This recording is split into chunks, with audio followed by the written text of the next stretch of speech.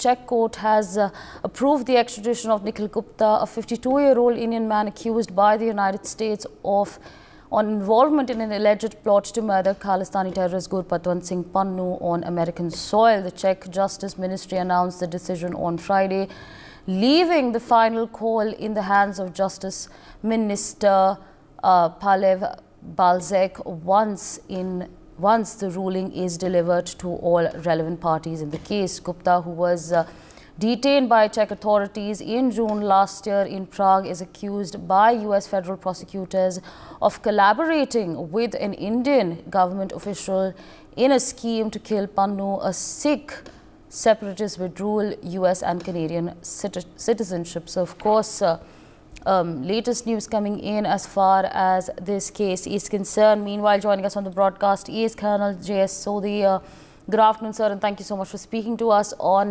News X. Now, what do you make of uh, this development that is coming in? What do you make of it? Jahan Dasavri, it's my honor to be a news channel.